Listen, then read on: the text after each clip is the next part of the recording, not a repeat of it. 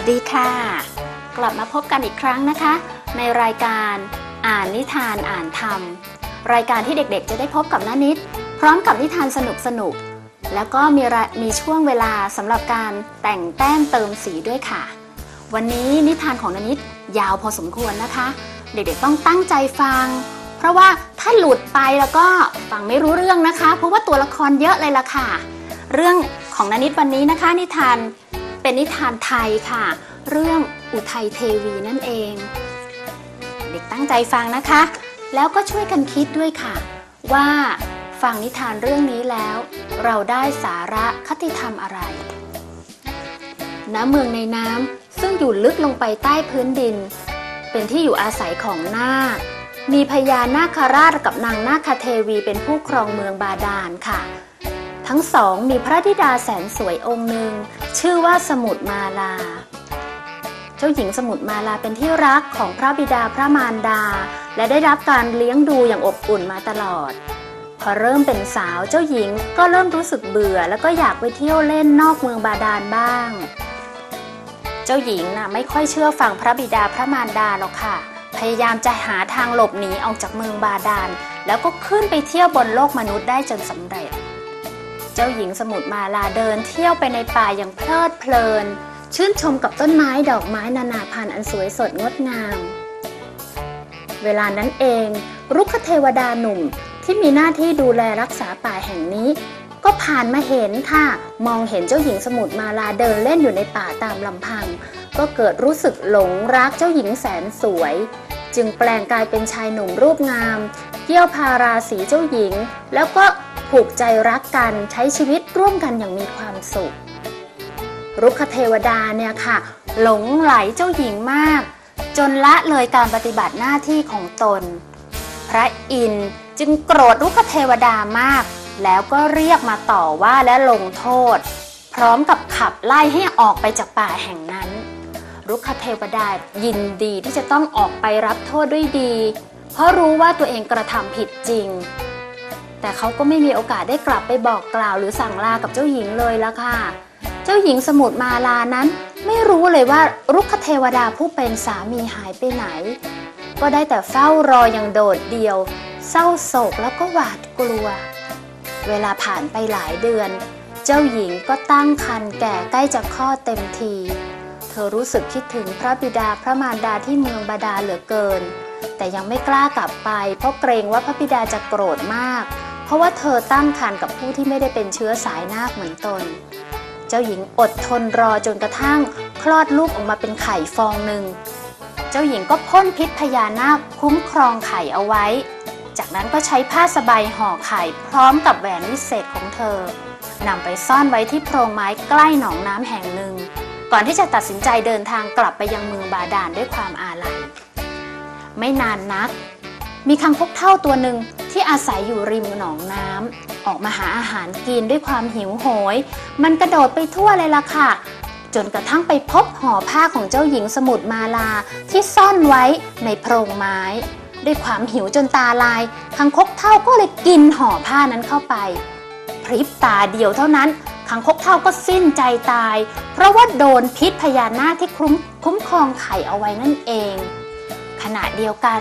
ไข่ใบนั้นก็ฟักออกมาเป็นเจ้าหญิงตัวเล็กๆ เป็นเด็กหญิงตัวเล็กๆ นั่นเองนะคะ หน้าตาน่ารักน่าเอ็นดูทีเดียว พร้อมกับถือแหวนวิเศษของแม่ติดมือมาด้วย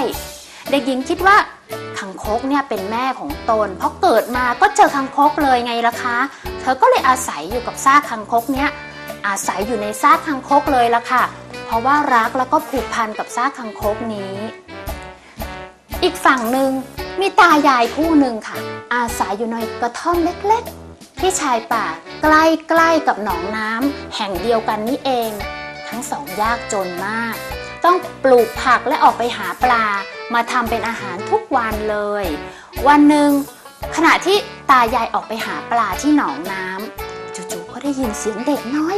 พูดทักทายเจ้ยเจ้าออกมาเลย เอ๊ตายายสงสัยจัง เสียงนี้มาจากไหนนะ เลยออกไปตามหาเสียง โอ้ พบอะไรรู้ไหมคะ พบคังคกตัวหนึ่งค่ะ นั่งยิ้มแฉ่งเลยละอยู่บนใบบัว ตายายตกกับใจ ประหลาดใจด้วยค่ะ เอ๊ะทำไมคังคกพูดได้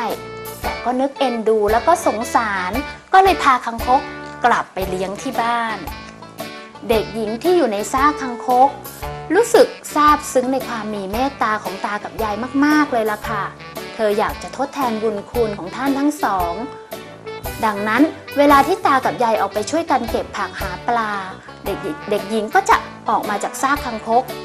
มาทำงานบ้าน แล้วก็มาใช้แหวนวิเศษ เสกอาหารดีๆ มากมายเลย มาตั้งเป็นสำรับอาหารไว้รอคุณตาคุณยาย เมื่อคุณตาคุณยายกลับมา ก็แปลกใจกับสิ่งที่เกิดขึ้นค่ะ และเมื่อเรื่องนี้มันเกิดขึ้นบ่อยๆ ซ้ำๆซักๆหลายๆวัน ตายายก็สงสัยเอ๊ะใครนะ ใจดีจังมาทำงานบ้านด้วย มาตั้งอาหารอร่อยๆ ให้เรากินทุกๆวันเลย วันหนึ่งตายายก็เลย แกล้งทำออกไปหาอาหารเหมือนเคยอะค่ะ แต่จริงๆแล้วแอบย้อนกลับมา แล้วตายายก็พบความจริงว่าเด็กหญิงที่อยู่ในซากคังคกนั่นเอง เป็นคนออกมาทำทุกอย่างให้ทั้งหมดเลย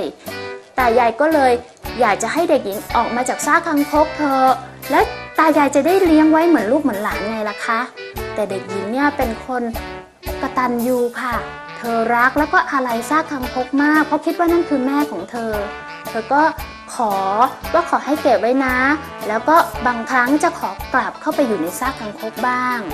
ตายายก็ยอมค่ะ แล้วก็ตั้งชื่อให้เธอว่า อุทัยเทวี เวลาผ่านไปประมาณ 10 ปีค่ะ อุทัยเทวีตอนนี้เป็นสาวสวยแล้วล่ะ เป็นคนจิตใจดีด้วย วิริยามารยาทพูดจาก็น่ารักนะคะ ตากับยายก็ทั้งรักทั้งหวงเด็กหญิงคนนี้มากๆเลย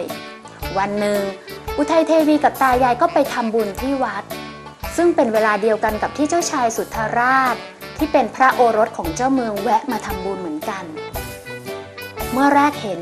นางอุทัยเทวีปุ๊บ เจ้าชายสุทธราชก็หลงรักขึ้นมาทันที แต่ว่ายังไม่ทันได้คุยอะไรกับนางอุทัยเทวีหรอกค่ะ นางอุทัยเทวีก็รู้ตัว แล้วก็ชวนตายายกลับบ้านไปเสียก่อน เจ้าชายเนี่ยติดภารกิจต้องทำบุญอยู่ที่วัด แต่ก็แอบสั่งมหาดเล็กค่ะ ว่าไปตามตัวนางอุทัยเทวีมาพบกันหน่อยสิที่วัง มหาดเล็กก็ตามไปที่กระท่อมของตากับยาย ไม่พบหรอกใช่ไหมคะ เพราะอะไรรู้ไหมเพราะนางอุทัยเทวีกลับไปซ่อนอยู่ในซากของคังคกเหมือนเคยนั่นเอง มหาดเล็กเนี่ยโมโหมากค่ะ ก็เจ้าชายสั่งมานี่นาว่าให้หาหญิงสาวคนนั้นให้พบ แต่เมื่อไม่พบ ก็เลยข่มขู่ดุด่าตากับยายมากมายเลยค่ะ ตากับยายก็ชักโกรธสิใช่ไหมคะ มีทหารมาข่มขู่อย่างนี้ได้ยังไง ก็เลยฝากทหารไปบอกเจ้าชายว่า เอาละ ให้สร้างสะพานเงินสะพานทองมาถึงบ้านนี้สิ แล้วจะยอมยกนางอุทัยเทวีผู้เป็นหลานสาวให้ เมื่อเจ้าชายสุทธราชได้ฟังคำที่ตากับยายฝากมาบอก ก็ได้แต่เศร้าใจ เพราะรู้ว่าไม่สามารถทำตามได้ ได้แต่ตั้งจิตอธิษฐานขอพรจากพระอินทร์ว่า ถ้าหากตนกับนางอุทัยเทวีเป็นเนื้อคู่กัน ก็ขอให้พระอินทร์เห็นใจและช่วยให้สมหวังด้วยเถอะพระอินทร์นั้นพอเห็นว่า จ้าชายสุธาราชกับนางอุทัยเทวีเป็นเนื้อคู่กัน ก็เลยลงมาช่วยเนรมิตสะพานเงินสะพานทอง ตามคำขอของเจ้าชายเช่นกันนะคะ ความมหัศจรรย์ที่เกิดขึ้นนี้ทำให้ทุกคนเชื่อว่า ทั้งคู่เป็นผู้มีบุญญาธิการและเป็นเนื้อคู่จริง จึงมีงานอภิเษกสมรสขึ้น ทุกคนก็อยู่ด้วยกันอย่างมีความสุขค่ะ แต่แล้ววันหนึ่งพระเจ้าการบก็ได้รับ พระราชสารจากเจ้าเมืองอีกเมืองหนึ่งมาทวงสัญญาค่ะ เพราะว่าตอนเจ้าชายเด็กๆเนี่ยพระเจ้าการบเคยไปสัญญาเอาไว้ ว่าจะให้เจ้าชาย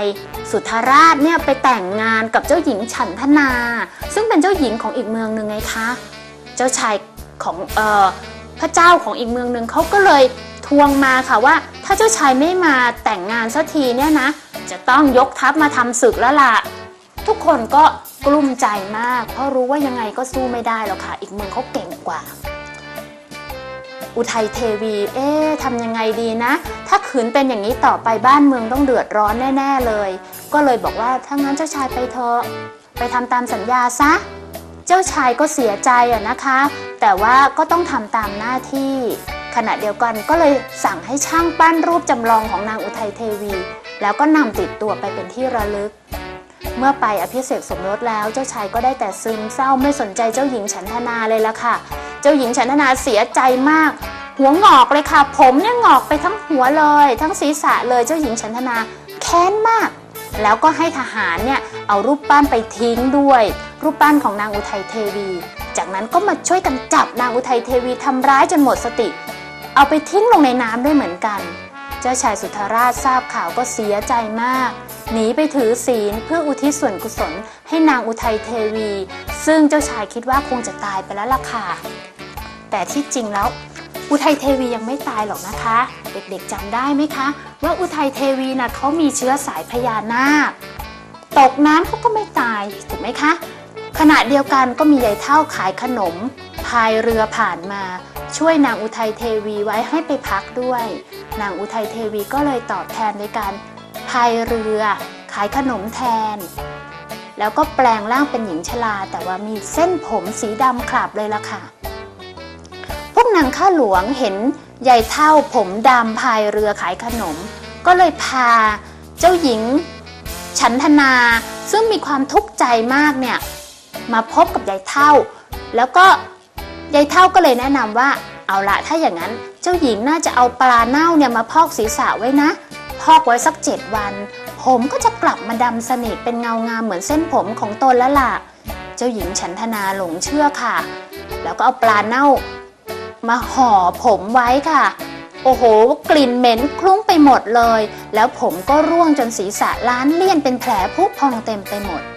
เจ้าชายสุธาราชพอรู้ว่านางอุทัยเทวียังมีชีวิตอยู่ ก็รีบ ออกมาตามหาจนพบ แล้วก็เดินทางกลับไปเมืองการบ ทั้งสองก็ครองรักกันอย่างมีความสุขตลอดไปเอาละค่ะเด็กๆคะเรื่องนี้ยาวมากเลย ตัวละครก็เยอะเลยค่ะ เด็กๆพอจะได้ คติธรรมอะไรบ้างไหมคะ หรือว่ามัวแต่ฟังเพลิน ดูรูปสวยๆเพลิน ถ้านึกไม่ออกนานิดว่าลองมาช่วยกันคิดดีไหมคะสำหรับนานิดเองนานิดคิดว่า เรื่องนี้นางอุทัยเทวีเนี่ยเป็นคนดี เป็นคนกระตันยูไงคะเด็กๆ ตอนที่นางอุทัยเทวีเป็นเด็กหญิงตัวเล็กๆ พอคุณตาคุณยายพามาเลี้ยง นางอุทัยเทวีก็ออกมาช่วย หาอาหารทำความสะอาดบ้าน ถูกไหมคะ และเมื่อโตขึ้นมา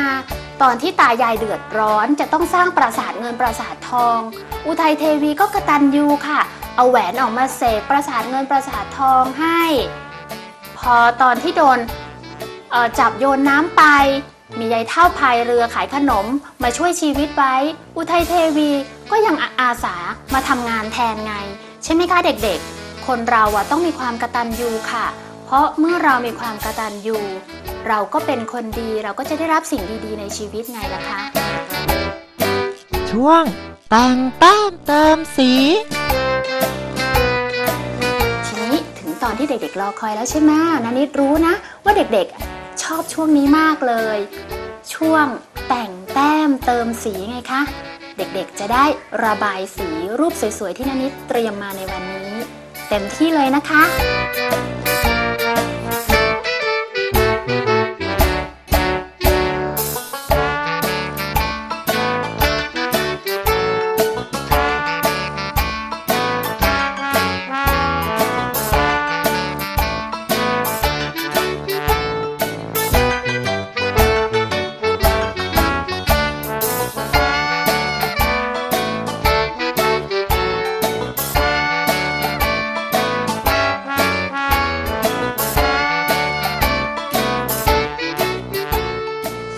เด็กๆ รูปที่เด็กๆ ระบายสีไว้สวยไหมคะ เอามาอวดคุณพ่อคุณแม่บ้างนะคะ แล้วก็เรื่องนี้ยาวมากๆเลย เด็กๆ ต้องจำตัวละครให้ได้ แล้วก็ไปเล่าให้คุณพ่อคุณแม่ฟังด้วยค่ะว่า ตัวไหนเป็นใครทำอะไร มีความดียังไงจำไว้นะคะ ว่าเราต้องกระตันยูรู้คุณของผู้ที่มีพระคุณนั่นเองอาทิตย์นี้เวลาหมดแล้วล่ะค่ะ น่าเสียดายจังเลยเราได้แค่เรื่องเดียว เพราะว่าเรื่องมันยาวไงคะ อาทิตย์หน้ากลับมาพบกันหน้านิดใหม่ เวลาเดียวกันนี้ในรายการอ่านนิทานอ่านธรรมสำหรับวันนี้ลาไปก่อนค่ะ สวัสดีค่ะ